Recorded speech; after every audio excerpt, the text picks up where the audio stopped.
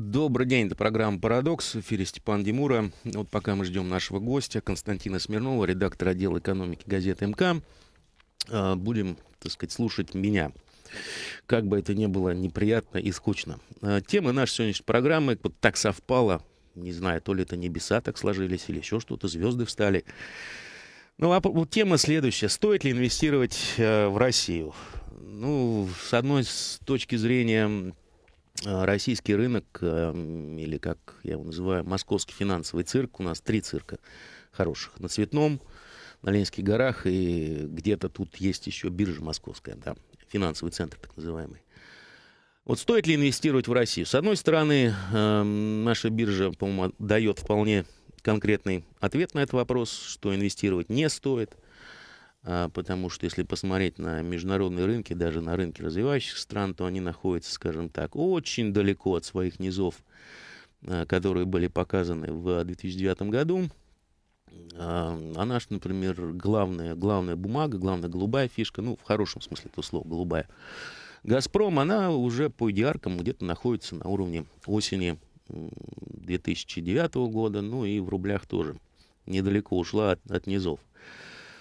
Вот с чем это связано на самом деле? И э, стоит ли вот сейчас покупать российский рынок акций, э, потому что, с одной стороны, э, можно вполне резонно заметить, что, ну, слушайте, по мультипликаторам он такой дешевый по сравнению с своими аналогами, и он уже неприлично дешев, а также нужно покупать, когда на улицах течет кровь, ну и прочие, скажем так, можно привести э, высказывания великих инвесторов относительно того, как надо покупать. Но даже если рассмотреть рынок акций, инвестиции, скажем так, спекулятивные, то сразу же следует рассмотреть две возможности. Первое – это инвестиции на длительный период времени. Ну, что такое сейчас длительный период времени? Ну, лично для меня это, наверное, месяц-два.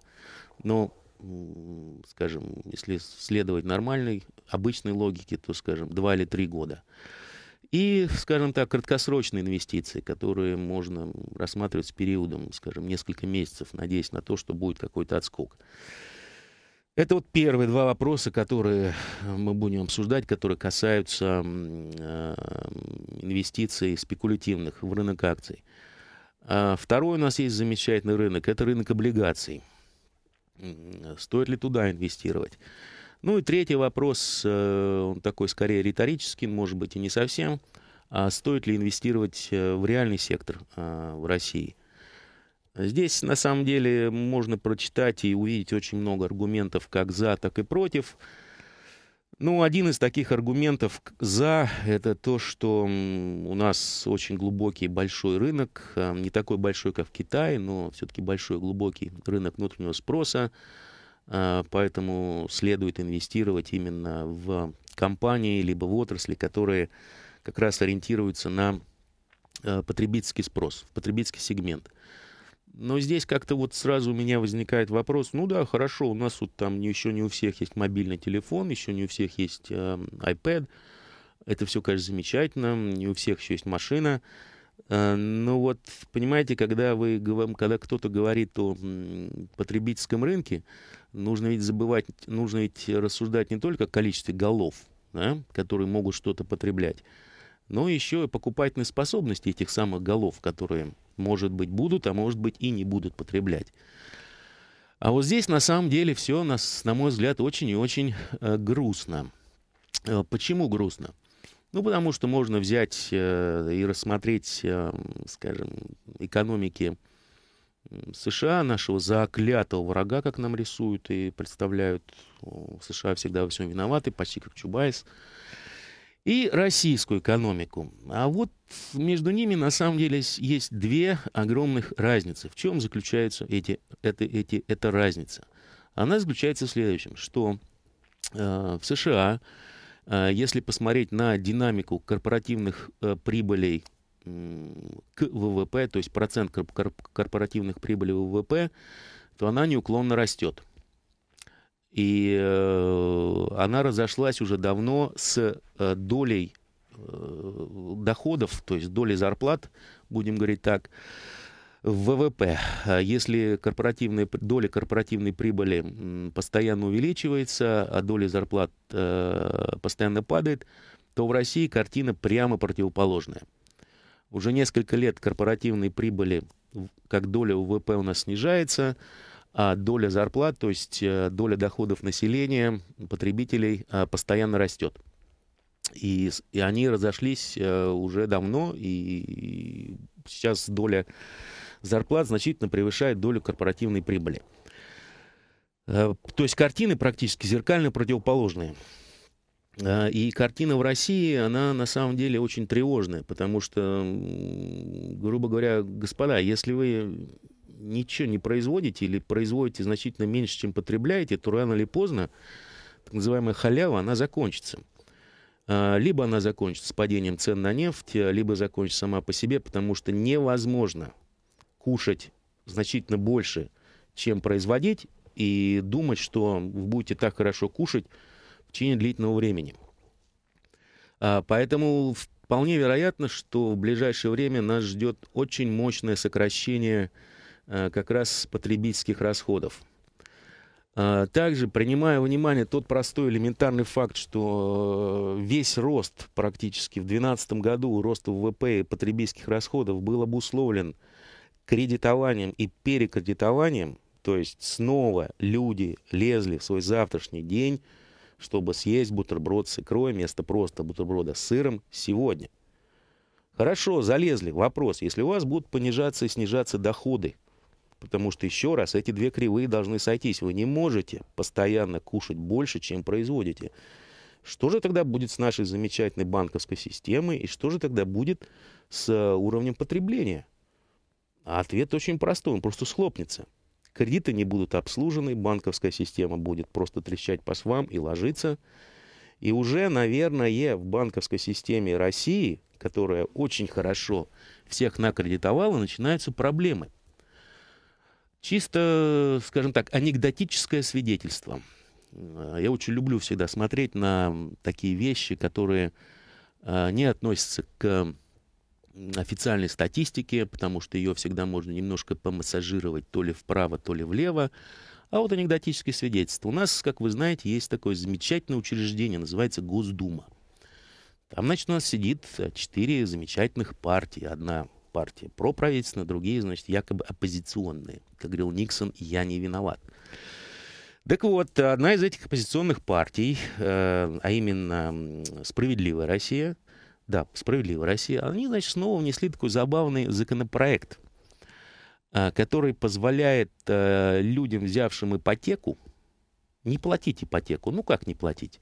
Их обязательства перед банками на себя возьмут муниципалитеты или, грубо говоря, федеральное правительство, то есть мы, как налогоплательщики.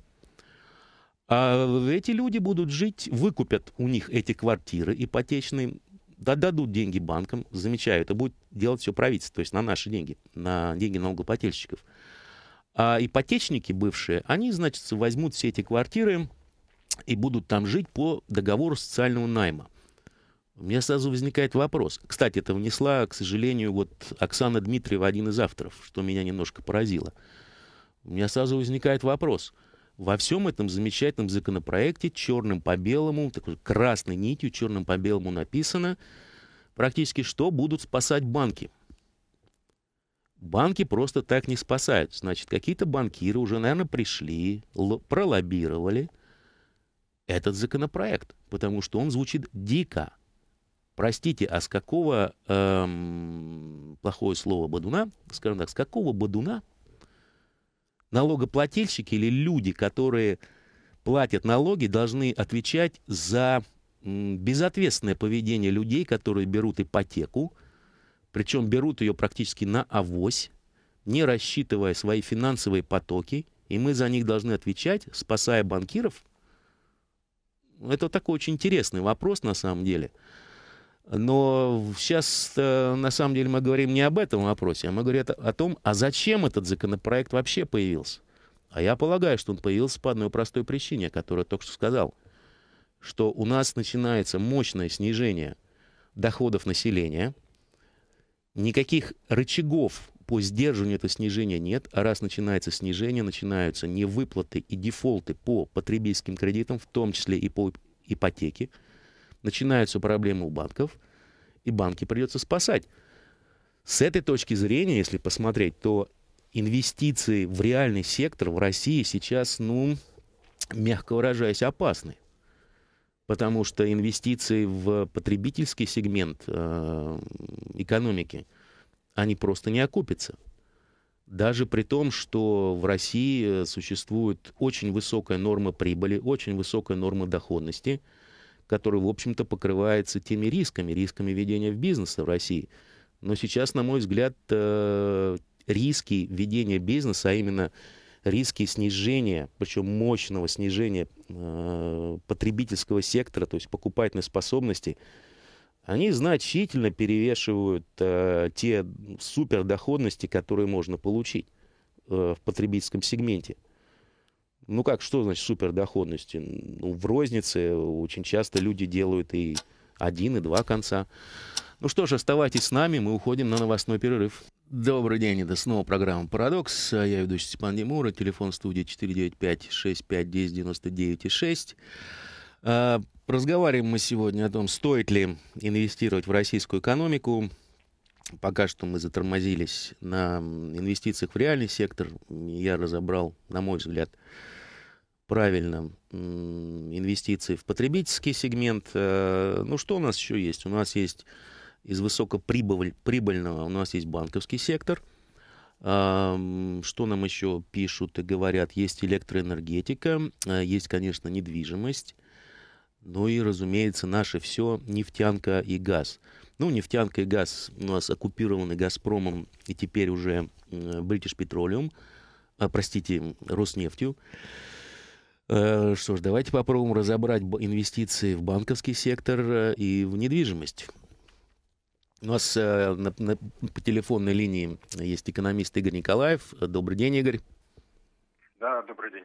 Ну, Игорь, вы у нас теперь заштатный уже, штатный, вернее, сотрудник. Ну, ну, сейчас по телефону. Да.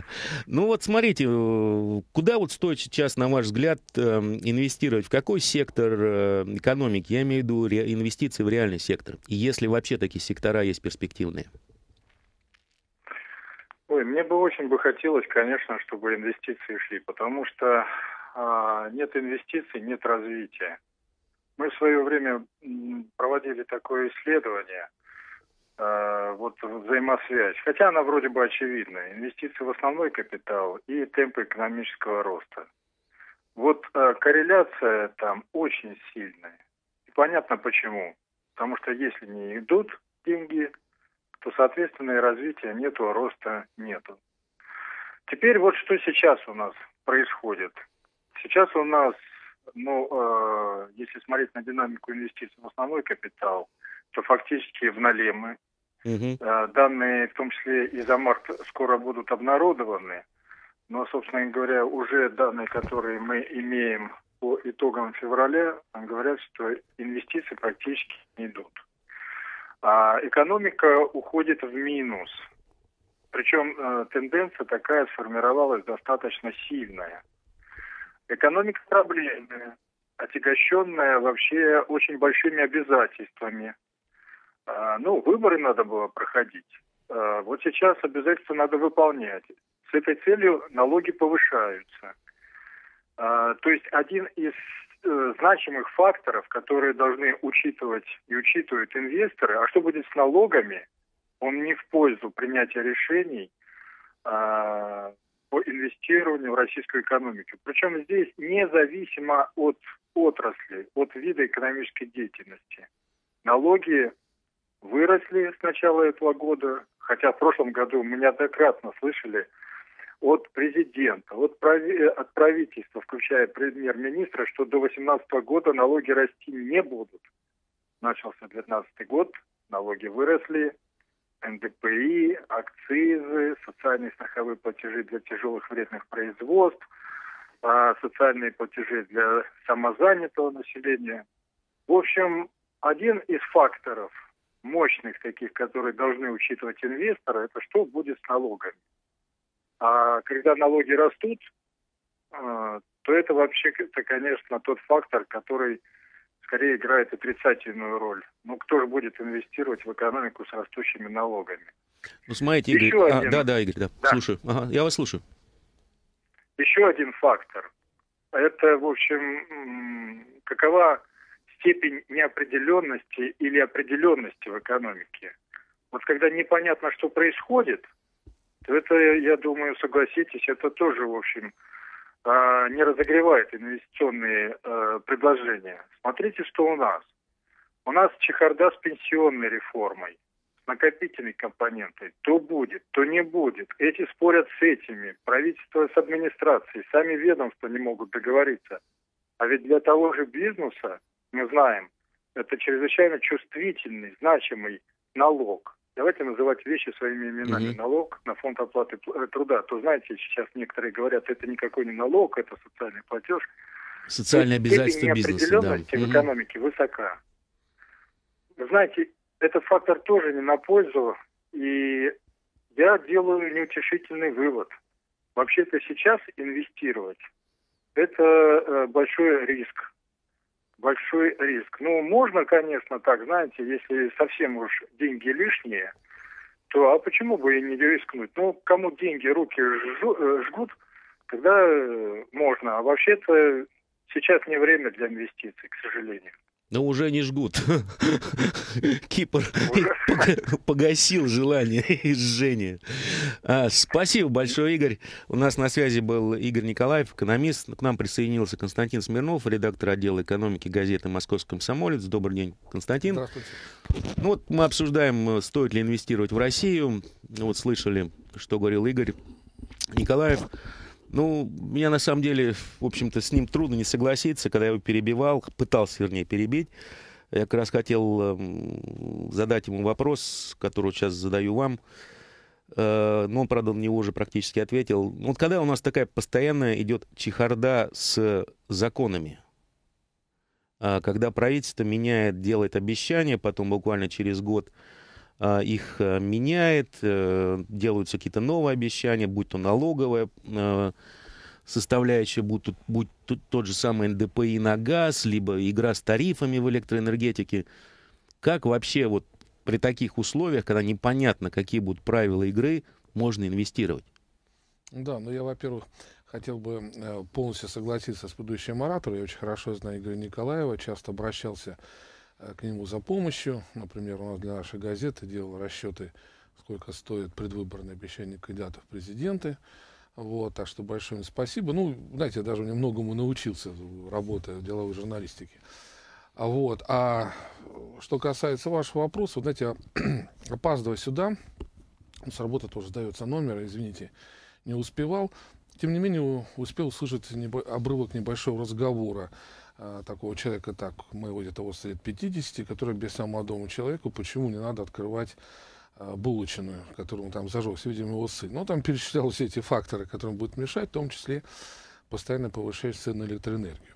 Действительно, вызывает вопрос, что у нас хоть какие-то еще инвестиции остаются. Правда, они это государственные. Частных инвестиций в стране так таковых нет. И это уже привело к своему закономерному результату в этом году темпы э, промышленного производства не просто там остановился, но последние несколько месяцев, вот начало года, падает. Причем падает, эм, э, как вот ФБК тоже, где работает Николай собирал на эту тему недавно круглый стол, падает причем именно к месяцам предыдущего года. Нет, то есть где-то на 90% даже выше производственной мощности заняты. А, то, что, так сказать, после кризиса осталось отработано, и зачастую оборудование на большинстве предприятий тоже устаревшее, вот уже и нет-то ничего. А, поэтому не случайно и бегство капитала продолжается, и оттоки инвестиционных фондов, которые заграничных, которые занимаются поставками, как говорится, денег сюда в Россию, все, это как раз все понятно.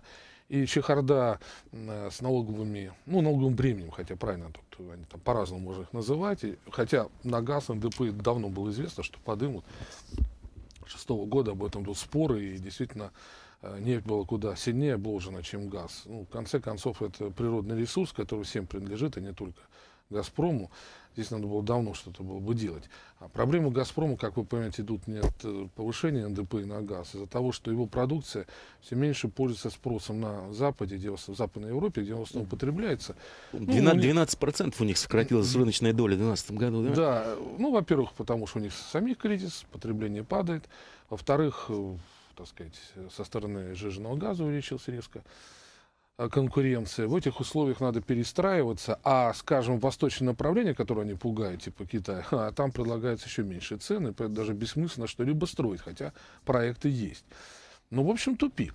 А потом, ну, собственно говоря, в этих, да, еще преддорогой кредит. Ну вот даже с, э, сами власти, вот Антон Силанов, министр финансов, недавно два раза подряд смешил публику, научено практическую на всяких конференциях, когда говорил о том, что вот ему, как гражданину Российской Федерации, пришел, так сказать, да, запрос на кредит, да, вот на по 23% годовых. Он возмущался. Но ну, почему так много? Потому что риски в банках, что много невозвратов, помимо ставки, высокой ставки рефинансирования Центрального банка. То есть вот мы пришли к тому, что вот что значит, э, об этом предупреждали еще в 2008-2009 году многие эксперты, что мы выходим из кризиса не вылечившись от наших застарелых болезней, то есть прежде всего от госмонополизма, от неэффективности управления, от, э, даже я бы сказал, не коррупции, а перехвата управления собственностью чиновным капиталом. Чиновничьи братья, кто не заинтересован в росте капитала, заинтересован как раз в сжатии, потому что вот больше прибыли ты себе получишь, если больше контролируешь. сжато, да. Угу. Зачем вот, конкурент? Вот, вот эти все родимые пятна, которые бурно расцвели перед кризисом, они все остались, и только в условиях сложности с добычей нефти, газа и продажи, ну, нефть тоже с, с прошлым годом она где-то на 10 долларов приблизительно опустилась, чуть ниже по сравнению вот, с первым кварталом, вот и цена не, э, и объем физического экспорта не растут, вот мы получаем результат. Поэтому Выход, ну, правда, он такого среднесрочного характера, ну, то, что правительство уже обещает с 2011 года, он до сих пор не делает, это масштабная приватизация а, госсобственности, которая у нас превышает 50%. Собственно, а куда вкладывать-то? Нет, а, а, а, кто, а кто это будет покупать? Ну, скажем так, ну, э, продать можно все, вопрос цены. Правильно? Ну, во-первых, покупать э, многие вещи-то будут, типа объединенной Роснефти, тут уж э, как бы давно обещали и ФСК, и прочее. Ну, все энергетические компании с большим удовольствием крупные пакеты акций Вопрос купят. цене. И за неплохую цену, я так думаю. По, по крайней мере, если начать вот с 2014 года, это, правда, хотя бы с 2014 года, 2014-2015, это можно сделать. Да и многие другие компании, связанные с, там, с транспортом и прочим, вполне себе э, конкурентоспособны по цене. Здесь главное продумать инфраструктуру продаж, ну, в том числе частично на нашей площадке, частично на западных. Мы сейчас, Константин, мы должны прорваться на новостной перерыв. А, оставайтесь с нами. Вернемся после новостного перерыва. Добрый день, снова программа «Парадоксия». Ведущий у нас в гостях Константин Смирнов, редактор отдела экономики газеты «Московский комсомолец». И обсуждаем мы сегодня тему возможности или нужности инвестиций а, в Россию. Куда можно пристроить денежки, как выразился Игорь Николаев, которые что-то жгут. Ну, после Кипра уже, наверное, не жгут. Ну ладно, шутки в сторону. Э, ну вот, смотрите, программа приватизации, да. Вот прошла приватизация, скажем, частичная, РЖД. Самый лакомый кусок транспортной перевозки ушел в частные руки. Причем эти частные руки, судя по всему, они растут примерно с того же места, откуда руки и у менеджмента. Ну и что хорошего? Теперь э, повышают тарифы на пассажирские перевозки, поскольку они остались без э, доп. дохода, который ушел в частный карман. Теперь, значит, э, будут приватизировать Роснефть. Ну, замечательно. Роснефти отдали все самые лакомые месторождения. А вместо того, чтобы доить ее Роснефть как госкомпанию, ее будут приватизировать. То есть эти деньги тоже уйдут в чей-то другой карман, а не в государство. Смысл-то приватизации. Мне это, ну, на самом деле, все это начинает напоминать все эти залоговые аукционы, которые -то проходили в середине 90-х, самые лакомые кусочки по дешевке отдают в правильные надежные руки. Не, ну абсолютно правы и хорошее сравнение с залоговыми аукционами. Вот э, прошлым летом, например, в правительстве совершенно всерьез, э, хотя многие были, естественно, против, э, обсуждалась идея о том, что приватизация будет Роснефти ну, вообще какой-то очень оригинальной. То есть все акции, которые выпустят на рынок, приобретет Роснефтегаз, другой государственный холдинг, в котором там работает там несколько человек. Он все время был создан для того, чтобы разобраться с ЮКОСом, для этого не понравилось, но формально он держит, является формальным держателем акций и государственной акции Рос, э, Роснефти и части акций Газпрома. Ну, слава богу, эта идея не прошла. Все, в общем, наконец-то удивились, что какая-то приватизация. Знал госкарманов другой. Но вот сейчас, когда Роснефть, одна из крупнейших нефтяных компаний мира, вопрос действительно о продаже акций, он становится ну, таким политическим, я бы даже сказал. Именно политическим вопросом. Если действительно так, как э, это делалось раньше, когда, собственно, сама компания что-то там получит для развития, каких-то денег, а, например, не увеличит выплаты дивидендов, соответственно, своему пока еще главному акционеру, в том числе государству, а до этого момента все дивиденды, вот последние несколько лет в Роснефтегазе и складировались, а бюджет ничего не получал. Вообще нефтяные компании, вернее, пардон, ну да, вот государственные компании, кроме зарубеж нефти, и, соответственно, в Петро, собственно, дивидендами практически не делились. Ну, якобы они шли на развитие. Ну вот, это во-первых. Во-вторых, тут самое главное, это получить ну, мощный стратегический инвестор. Ну, правда, они сейчас а, как бы поменялись. Конечно, получили BP. Да. Вот. Правда, он так в свое время не очень здорово выступил в Мексиканском заливе. Но это же, смотрите, с одной стороны, нужны технологии суперсовременные, с другой стороны, действительно, какая-то выгода для бюджета. И вот пока мы этого не видим, хотя вот были вот удачные продажи, вот Сбербанка, ВТБ, они прошли достаточно удачно, денег привлечено много, а Э, ну, стоит нам теперь подождать, что Сбербанк и ВТБ наконец-то снизили проценты по кредитам. Пока а зачем им это снижать? Это же суперприбыльное ну, мероприятие. Ну, все-таки как-никак это до государственные банки. Все-таки акционер на них-то может как-то давить. И не зря тот же Силанов вслух это и давил уже, прежде всего, обращаясь по поводу своих вот этих вот э, дорогого кредита, он имел прежде всего в виду, конечно, государственные банки. Они же у нас правят бал. Вот, и они именно могут не только дать им льготные по, по направлениям каких-то кредитов, но и в целом снизить. Потому что слишком большая маржа. Как это уже сделать, это другой вопрос, потому что тут надо во многом менять и такой политический, я бы сказал, режим, такой, когда прежде всего нуждается от госмонополизма. Когда решение принимается, очень, настоящее решение, в очень узком кругу с непонятными продолжениями, ну вот, в результате чего, например, какая-нибудь крупная компания, государственный холдинг объявляет о том, что он неправильно вложил 22 миллиарда до, рублей пардон, куда-то там, ну, это просто действительно так хозяйством долго не на хозяйствуемся. Никто не будет сюда вкладывать деньги. Я уж не говорю про суды, а вот, да, это отдельная песня. А, да, кстати, как тут тоже недавно выяснилось, когда всевозможные подсчеты делались, и выяснилось, что у нашей стране, ну, по сравнению с относительно развитым кругом стран, количество судей на там 100 тысяч населения минимальное. Зато полицейских больше, во многих, чем во многих других странах. Явный крен. У нас поэтому и судебные решения по этому длятся уже года, что судей действительно не хватает, они перегружены. Вот, зато ну и качество судей, скажем так. Ну, это все взаимосвязано. Вот, а, соответственно, зато полицейским делать нечего. Вот они там, может, лишний раз куда-то и зайдут. Вот. Ну вот тут еще хочу сказать, конечно, я про приватизацию сказал как то, что бросается в глаза, то, что правительство как бы уже решило. Но том числе на месте, боясь низких цен, с одной стороны, и того, что с этим не придет а, действительно стратегический инвестор. Ведь даже суть, э, о чем сейчас все любят критиковать, реформа РАО ЕСТа была в чем? А, а что утверждало правительство в июле 2001 года, затем закон, так сказать, Верховный, а, а, Госдума принимала в 2003 году. Смысл в демонополизации этой структуры был в том, чтобы а, в генерацию пришло достаточно много конкурирующих структур, в том числе и за рубежа. А что мы получили? 25% генерации купил себе «Газпром», а, еще сходные э, объемы остались у государственного «Интерау» есть, э, которые концентрируют. Есть еще «Росатом» со своими делами, «Русгидро», это тоже все государство.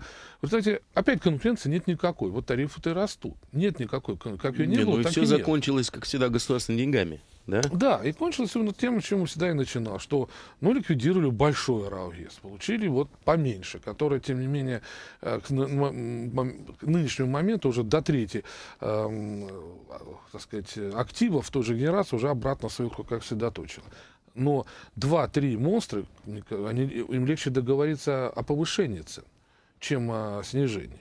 И хотя тут разные варианты, давайте там с 1 июля, давайте не больше 10%, а может быть только в темпах инфляции, но пока все, как говорится, и не там. То есть ну, нужна конкуренция. А вот как ее добиться? Ну, наверное, в том числе и умело проведенной приватизации. Вот. Приходом стратегических инвесторов Запада. Константин, понимаете, тут возникает сразу вот вопрос, который тоже всем задаю, когда начинают говорить о светлом будущем и о том, что нужно делать.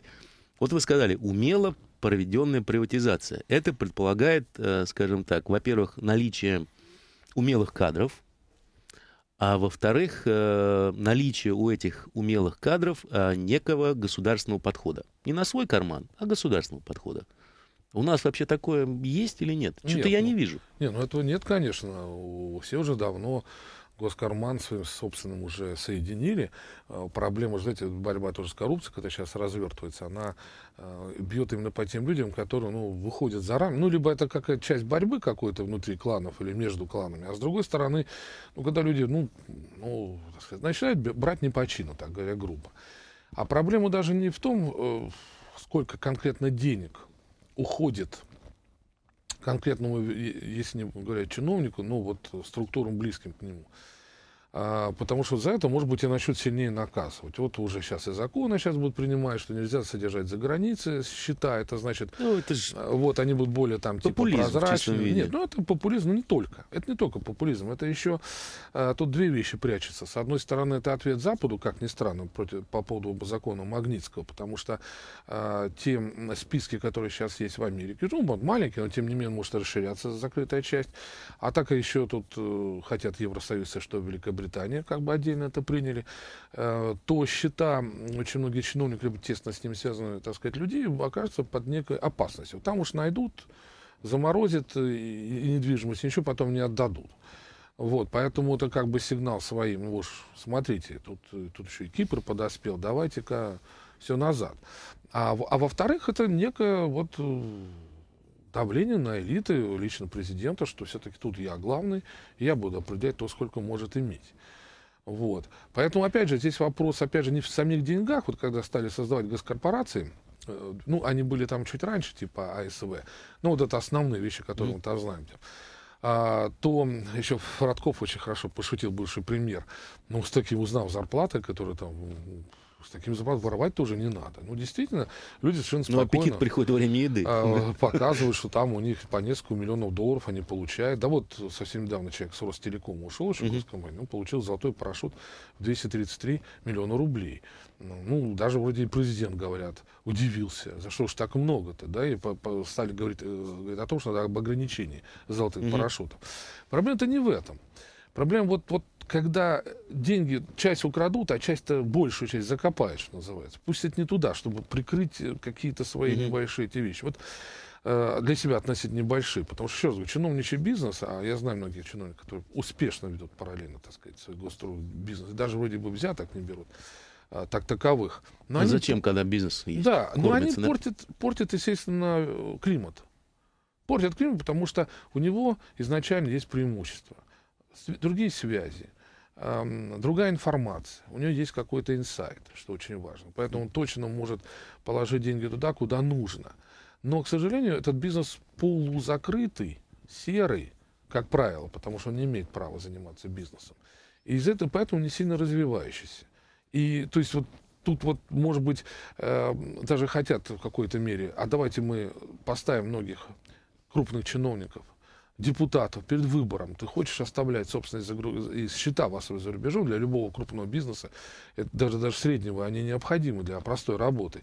Ну, уйди ты уже в чистый бизнес и давай занимайся. Гляди, может, тогда инвестиций больше будет. Нет, ну а как он может заниматься чистым бизнесом, когда, если даже посмотреть на наших э, великих бизнесменов, коих называют олигархами, угу. они же на Западе не конкурентоспособны. Я не знаю ни одного, скажем так, официального олигарха, который смог бы что-то достигнуть на Западе. Ну, время олигархов-то, в общем, тоже ушло, а сейчас время вообще государства... Это просто как пример, что да, вы говорите, сейчас... что чиновник займется белым ну, и чистым знаю. бизнесом, ну, ну вот не в многие же сенаторы, у них вполне все нормально, успешно. В России? Бизнес. Да, в России, вот в России. Ну, пускай дальше занимается своим бизнесом. Ну, как Лисовский, он владеет, построил здорово, в мощнейшей конкурентной борьбе с Западом, с импортом. Он выстроил куриное производство, вполне себе успешный. Зачем ему быть сенатором, я не понимаю. Значит, боится, на, что на... отберут? Нет, ну так, вначале да. Вот там 10 лет назад, да, тем более, когда менялась вся структура, к власти приходили бывшие чекисты или даже действующие чекисты, это бывшие не бывает. Вот. Надо было, да, действительно безопаситься, заодно войти с ними контакт, да, я же буду, так сказать, все для вас делать. Но сейчас-то уже, вроде те уже все себе взяли, а вот, на его предприятие вроде бы никто не претендует. Ну, насколько мы так знаем, только не слышали, что кто-то хочет. Ну, вот и занимает. Ну, я как пример, как Лисовский, как вот некая такая данность.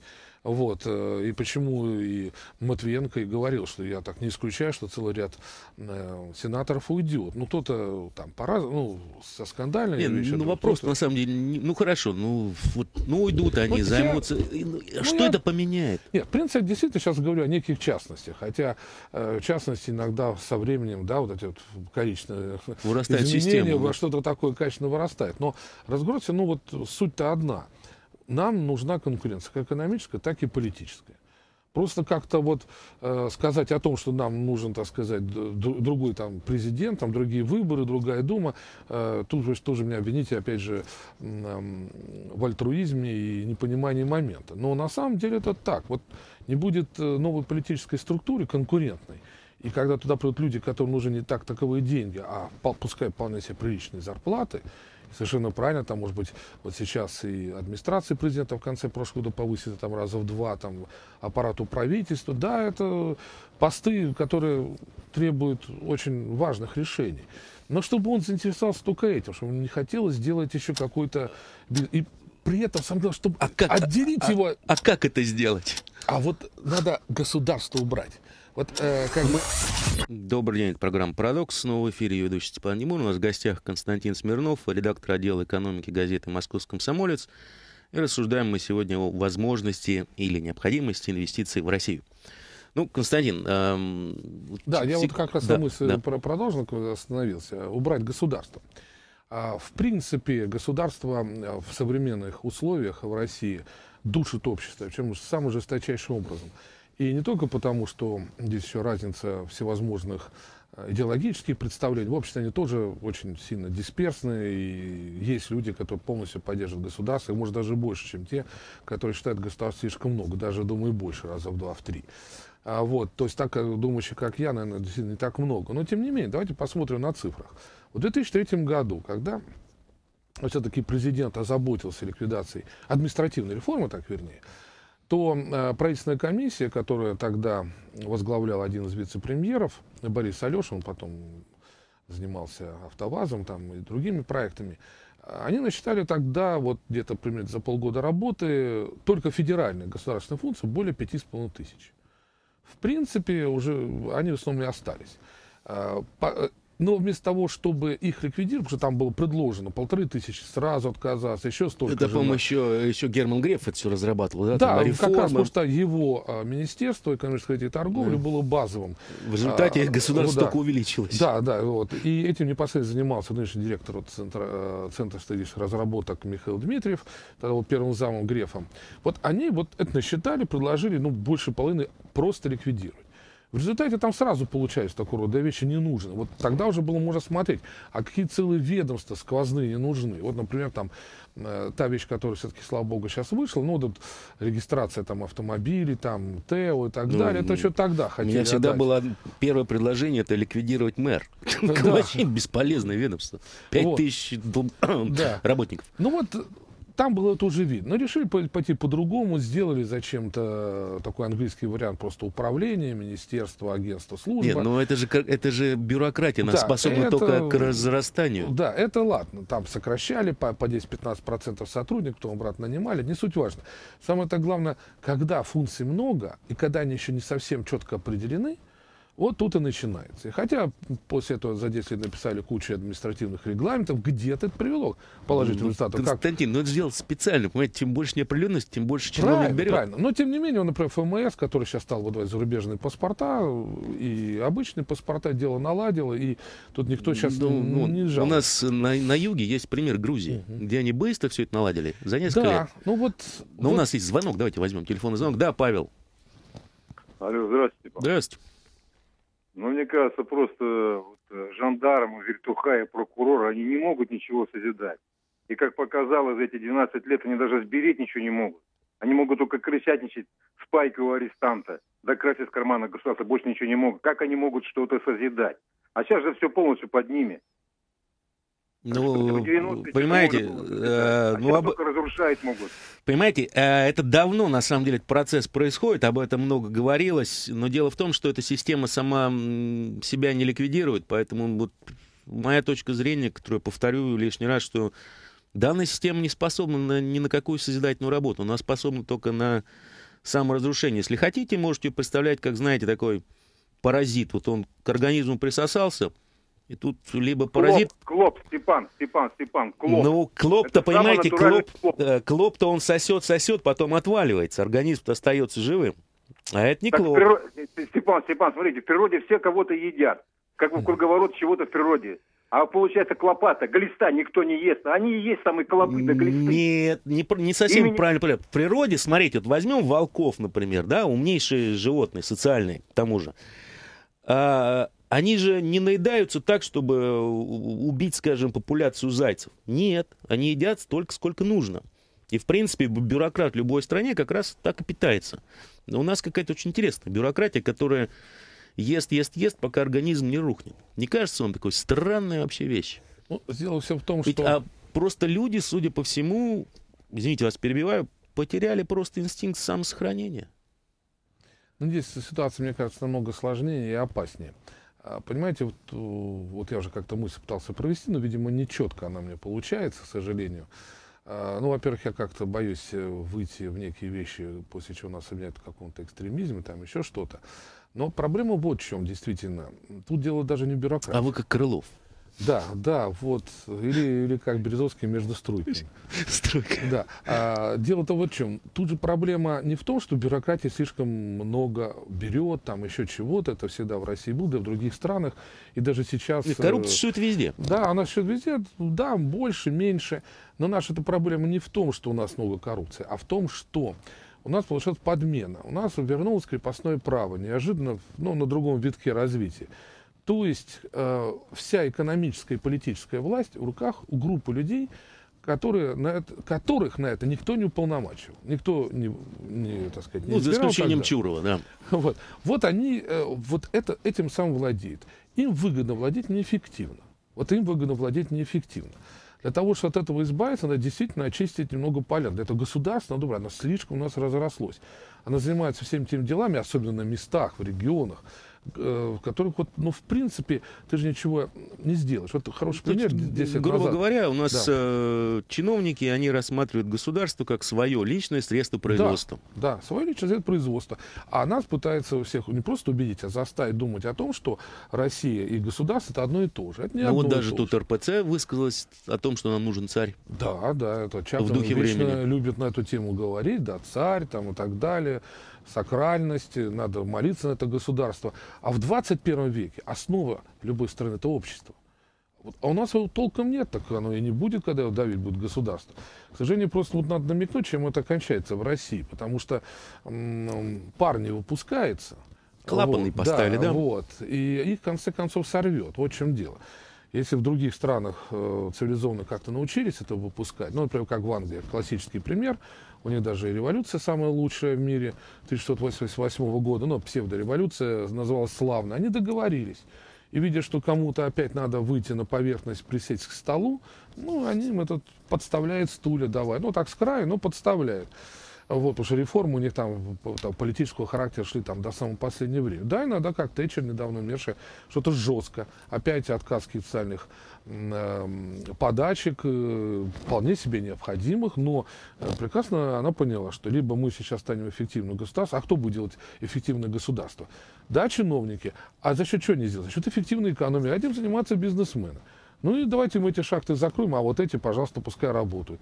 А с рабочими будем как-то разбираться, переучить и тому подобное. Да, это тяжело далось. В нашей с вами памяти это было, э, что творилось в Англии, почему до сих пор терпеть да. многие не могут. Но ведь все-таки история это показала, что она была права.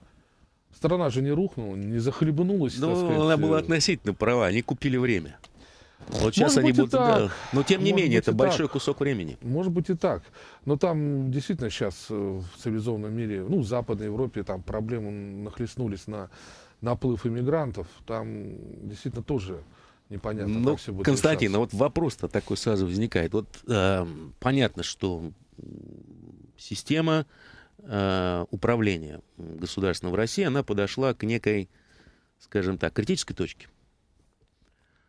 Э, вот есть ли надежда, что есть хоть какие-то люди, которые способны что-то сделать, включая того, о котором не принято говорить, э, которые смогут эту систему вот здесь остановить, реформировать и обойтись без крови? Или это уже нереально? На ну, ваш взгляд? В истории бывает всякое. Много очень неожиданных моментов возникало в той, или- с той или иной стороны.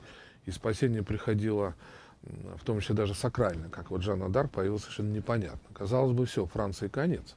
Мгм. Все было против, вот все, нет ее от Франции. Откуда она появилась, зачем она появилась, как ей удалось. Ну, Видимо, она появилась в тот момент, когда вот люди ждали вот чего-то такого, чтобы бросить, плюнуть на все и пойти вперед и решать ту задачу, которую все понимают. Вот, э, но все-таки, с другой стороны, пример другой, что система была реформирована не безумным королем, который перед этим проиграл жуткую битву англичанам, а все-таки со стороны. Э, ре- Не, не революционная, это не революция была, э, Жакири, да, это потерпел поражение во Франции. Но что такое со стороны? То есть э, то, что сейчас есть, я пессимистично отношусь. Все уже отработано. Все, что они могут, они все сделали. В том числе такие полулиберальные ходы, и окололиберальные, вокруг либеральные, и потом опять ужесточительные. Все это уже сделано, и э, при- результат налицо. Темпы роста падают, а тут недавно на интервью нашей газете Белоусов, министр экономического развития, предупредил, что если мы в течение ближайших буквально пяти лет не сможем резко поднять свою производительность труда, то у нас вот к 17-18 году экономический коллапс. При- Ну, он произойдет чуть раньше, если ну, все так и будет. Но я цитирую его, так Мгм. сказать, дай бог, чтобы так, да, вот, э, что еще пять лет поживем, что называется. Когда действительно у нас производство совсем остановится практически, придется резко девальвировать рубль, резко упадут все зарплаты, там прочее. Ну, ситуация может быть катастрофическая, а сами понимаете, там совпадение 17-18 годов, как раз столетие, вот, что мы будем, видимо, как-то отмечать, как 400-летие дома Романовых, а тут вот, и, пожалуйста, ну вот наверное, все если бы не было крови, а, какая-то вот идея, группа людей и так далее, которые все-таки хоть как-то сбоку могут зайти и что-то сделать. Но я таких людей тоже практически не вижу. Я Ну, полян-то зачищены Ну да, ну вот, ну правда, опять же, Жанну Удар тоже никто Да. не знал. Тоже все зачистили, никого ничего не было. Вот, так что осталось уповать только на Всевышнего. Да, ну что, придется сходить в церковь, правда, не хожу, но помолюсь дома. Попрошу Всевышнего. да. Ну что ж, Константин, если так суммировать то, что вы сказали, в общем-то, и то, что я говорил в первой части, и то, что говорил Игорь Николаев, как-то что-то инвестировать в реальный сектор России сейчас стрёмно. Да, Очень да. стрёмно. Потому что риски, которые существуют, они значительно, на мой взгляд, перевешивают возможность получить некоторые сверхприбыли, которые обычно получаются в России. Ведь как нам говорят обычно? Ну, да, есть коррупция, пятое, десятое, но посмотрите на норму прибыли. Но вот сейчас э, риски, которыми определяется, скажем так, премия за риск, они, судя по всему, начинают очень и очень сильно превышать ту самую премию. Как вы считаете? Да, безусловно. Э, В принципе, еще норма прибыли такая вот хорошая э, остается, но опять же остается буквально двух-трех, в трех, а, так сказать, Каких? более-менее. Ну, это нефтегаз, которому государство никуда Ну, не это уже допускает, государственная отрасль, да. строительство и торговые сети. Но виду крупные Ритейл, торговые да. сети, э, ритейлы, они небольшие магазинчики, которые закрывают они за другим. Там да, но там уже произошло, особенно крупный ритейл, уже некое насыщение. Понятно. Тоже. Спасибо большое, Константин. У нас в гостях был Константин Смирнов, редактор отдела экономики газеты «Московский комсомолец». Удачи!